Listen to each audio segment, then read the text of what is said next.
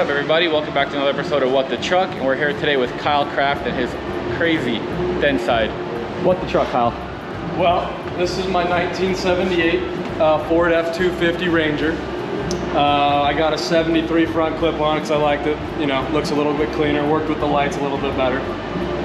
Uh, we picked this truck up about four years ago. Uh, was just gonna do like a little pre-runner project out of it. I'd seen a couple guys on Instagram doing the single cabs before, and I thought they looked beautiful, but I also thought the extended cap would look a little bit cooler. So I got it, I started tearing it apart. I put a cage in it, and then uh, my dad kind of stopped me on it, was like, no, let's, let's do this thing right. And so uh, the budget went up a little bit. We were just gonna put, you know, 37s on it, put a LS3 crate motor in it, do some simple things, and then it kind of got wild from there. So what are what are some of the things on here that uh, that really took it to the next level? I mean, you know, from the outside looking at it, you're like, holy, but I don't know too much about this style of trucks as far as you know the off-road stuff. So I'd love to just learn. So uh, let's start with the motor package. We ended up going with a big block uh, Doogan's 575, I believe. Um, we wanted that motor because it translates with our trophy truck motors and when you're down in Baja, parts are scarce. So if you're out there pre-running this thing and you know you're on race day and you have a problem, we could have pulled something off of this truck and used on that. And that was kind of the theme behind the whole build is backup parts for my race trucks. So we put in the big power plant, we put in the big transmissions. Uh, I put a 4L80E in it uh, by uh, Rancho Drivetrain. Then uh, we went to the big shocks. I got King uh, 4.5 bypasses in there along with 3.0 coilovers. So everything's the same that the trophy truck's running. Uh, we've got the big trophy truck hubs on this thing. I got 40 inch tires. I got my ultra beadlock wheels just kind of everything that a trophy truck's got is what went into this whole thing. Um, we what kind of power is the motor pushing? I believe the motor's got on regular 91 pump gas. This motor's completely detuned, you know, to be super safe when it, uh, I believe it's got about 850 horsepower. Man, you say that like it's nothing. Trophy truck's are a little bit higher, but, but, yeah, no, this motor, if you, if you tuned it up right and you put in race gas, you're over a thousand horsepower. Wow, dude. This thing freaking power D. It's uh, it's a little scary. So what what kind of uh, what's the body on it? Like uh, I know the cab's original. What kind of front end rear end do you have on there? So basically, uh, we went to McQueen and we had uh, custom fiberglass made for the whole car. Um, it's based on their 76, I believe, uh, molds that they had. And then I went to Blitzkrieg uh, off-road out of Westminster and I had them design uh, the I-beams for the car, the rear end, and then the uh, forelegs.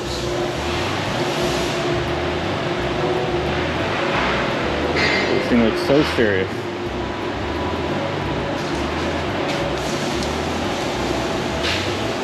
So how long does it take to go from how it looks now to all the body panels off? So they can tear this car apart in about two days. It takes about two days. To do a full prep on this vehicle, it's about 220 hours. Wow. And that's taking this thing down to the bare frame, everything's out, and then re-putting it all back together. Every fluid, every bolt gets checked, everything. Every Heim, every bolt, every wire, everything. How often do you guys do that? So on pre-runners, typically every 5,000 miles. So a whole season it'll last me. On a race truck, every race. Oh, wow. Yeah. And how long do you guys usually have between races? We have usually about a month. Okay, so pretty much exact amount of time you would need. The exact amount of time. It always comes right down to the wow. wire too. No, nothing ever seems to get done early. Yeah. And then what are you what are you doing on the interior over here? Well, so we did a full pre-runner uh, inside. I got two GPSs in the car. I got my Motec's monitoring all the engine and uh, basically every temperature, everything you could think about in the car. I've got all sorts of sweet electronics from heated seats down to cruise control. Wow. Uh, tire pressure monitoring systems. Just And you're running a full Motec system, you think? Full Motec. Hell yeah. Yeah. Dude, that's so bad. So back here, We've uh, got our spare tire, obviously. We got a spare drivetrain. When you're out there, you ding a lot of stuff. Things come up, rocks you didn't see. It's always good to have one of those. I've got a full toolbox in the back that they designed all sleek, so you can't really see it. Obviously, I got my two fire extinguishers. Fires, the worst thing that could happen in off-road, so that's always good. Right here, we've got a full uh, race-style dry brake system that allows the car to be filled with 110 gallons in less than 36 seconds. Whoa. Yeah. Man, where's that at the truck stop? Kind of overkill, but it's cool to have. Yeah. So you have to have like special pressurized tanks? Yeah, so we have these things called Pressure Pros, and they're basically a 200 gallon cylinder that you attach CO2 to, and then you just stab it and Dang. yeah. Oh, Probably has some really cool sounds too, huh? Sounds are the best part. Oh yeah. Where would you like to go from here? Um, tell me a little bit about like the rear suspension. Perfect. So under here, we've got a nine inch, uh, I believe ID Designs rear end. Same thing that's on the trophy truck, all interchangeable. Right here, we've got our tire pressure monitoring systems that talk to the wheel, basically tells you how hot it is, what the pressure is. Right here, we've got our limit straps. This thing is strapped at, uh, I believe, 32 inches of rear travel. Four link, sway bar, all the wiring. Dude, that is a thick sway bar. Oh yeah. And you're running, looks like Brembo brakes. Brembo brakes, of course, you gotta have the best. Dang. It's so nice on the outside. It looks like you don't even use it. Like, how do you keep it like that? We really don't. the design was, you know, we go down, we'll pre-run in this thing, but it just kind of turned into a, a work of art that uh, we're afraid to get. So just run it around the camp? Pretty much. It, will go pre-run when I need it to, but I try to keep it to a minimum.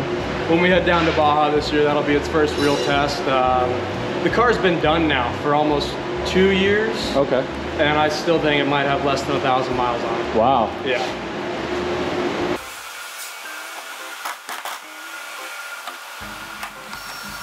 That's a little bit lighter than usual. Man, that must make doing oil changes easy. it's not that bad. So this is the heart of the whole truck. Uh, like I said, it's a big block Chevy. We're gonna get some haters for that, I'm sure, but. Where's their pre-runner? Right. Dude, that's awesome. Yeah, this is uh, this was a plumbing nightmare. Uh, most pre-runners you see will have, you know, the radiators in the back, pumps in the back, better airflow, but we wanted to keep this truck super clean, not a bunch of stuff in the way, kind of keep it really slick, so we piled everything up front, and uh, it was a little bit of a nightmare for the plumbing guy, but it is beautiful. Heck yeah. And uh, I, you mentioned before, but you didn't really talk about them. What kind of lights are those? Because I think a lot of guys so are gonna in love here, them. I've got two KC HID off-road lights, and then up top I put in the Baja Designs uh, light bars as a little bit of extra light. I have a bumper that goes on right here for when I'm doing a lot of night pre-running with four more of these big KC HIDs, and it lights up the night. Nice. Hell yeah. Dude, this thing is so crazy looking. Man, I can't wait to see some videos of you out this year at Baja with this. It's gonna probably be crazy. It's gonna be fun. I'm, I'm excited to let it loose. I finally got to really uh, drive it about a month ago when I had SDG. Those are my shock tuners. They designed the whole shock. Well, King makes it all. I like to have SDG do all their little magic to it. Yeah, calibrating and, it. Oh yeah, and it was a pleasure. I mean, five foot whoops. We're doing 100 miles an hour through wow. like nothing. Wow. Dude, that's crazy. What do you guys have on the headers? I see it's got that really cool finish. It's just a heat coat. Uh, these things get extremely hot, and especially with the temperatures that we're running and how tight everything is, it's a uh, it's a coating that keeps the heat down and you know prevents it from getting in the cab. Hmm. Well, I'm gonna gawk over this thing a little bit more, and I'll pick the camera up in a second.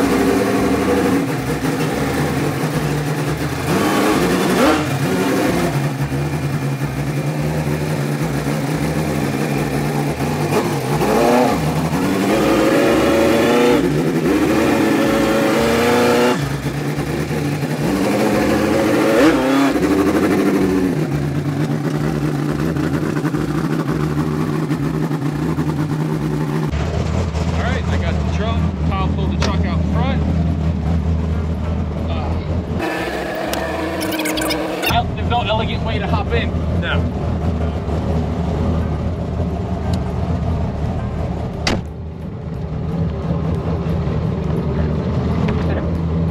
Well, you guys probably won't be able to hear us whatsoever, but we got the headsets on. We're gonna go for a ride and bring you guys along. Let's do it. This is like a full-on party. Oh,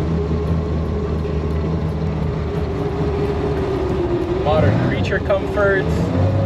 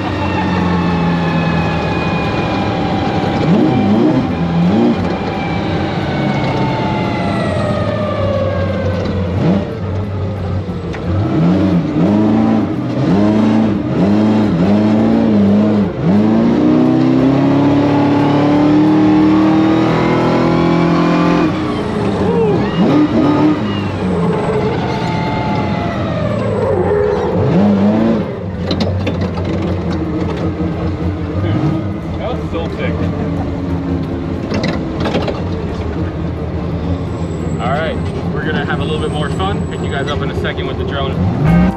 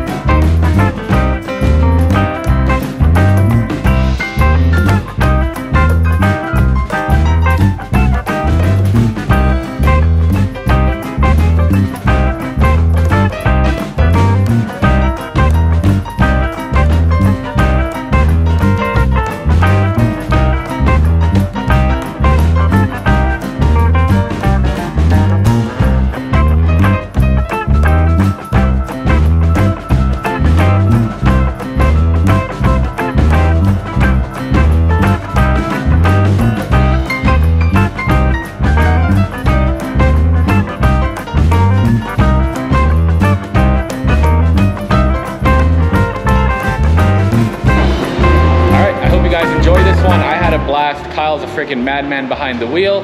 As always, if you can, like the video, subscribe to the channel, and if you have any questions, comments, drop them down below. Make sure to check him out on Instagram. And uh, that's it. We'll catch you in the next one. See you later.